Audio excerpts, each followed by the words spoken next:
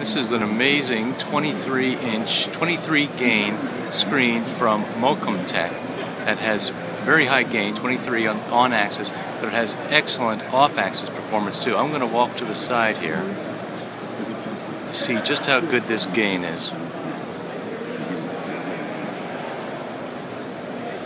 I'm now at about 60 degrees off angle and it's still quite bright. Going even further, This is more like 80 degrees. It's still visible. We've lost a lot of uh, brightness now, but that's amazing for a gain screen like this.